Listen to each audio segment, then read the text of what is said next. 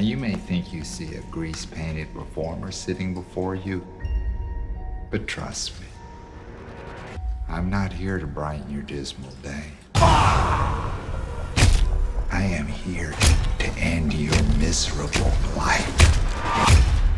You know, all in all, you've had a pretty good run. Deep down inside, you must have known. You digging what you see, Pops? I reckon I do. It all had to end somewhere. Might as well be now.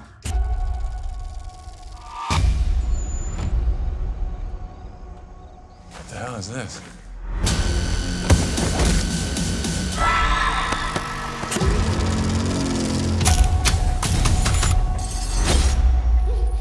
Tonight, we are going to play 31.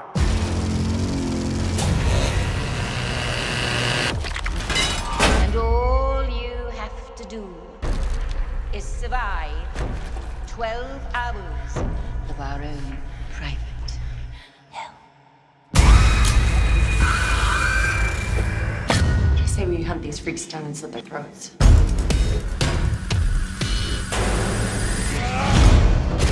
Have ourselves a game. Murder school?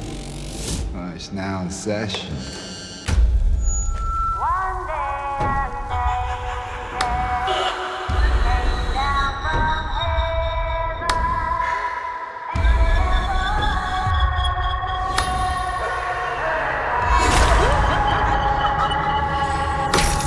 Thirty-one is war. And war is hell. Everybody loves popcorn.